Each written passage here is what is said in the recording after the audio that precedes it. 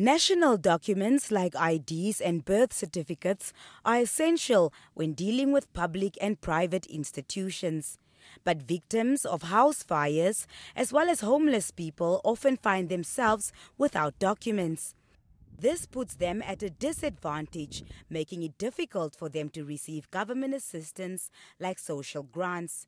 It's against this background that the Ministry of Home Affairs, Safety and Security is providing some local residents with national documents. The 193 documents are for the homeless people currently accommodated at stadiums as well as Windhoek's recent fire victims.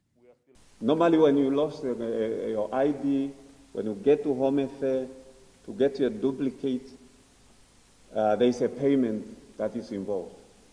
But this one, we are, we are doing it uh, uh, free of charge uh, because it goes to a specific group that has become vulnerable because of disaster or in a way those who have become disadvantaged at the same event, the governor of the Khomas region, Laura McLeod Katjirua, asked residents for donations that would assist in the fight against COVID 19.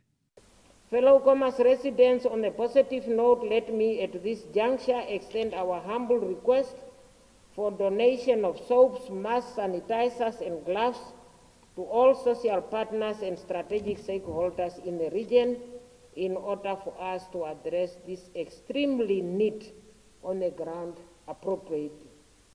The governor also expressed her gratitude to everyone in the Khomas region who donated to the misplaced fire victims of the then Twala in the Erongo region. The governor was giving an update on the regional response strategies, which takes place once a week.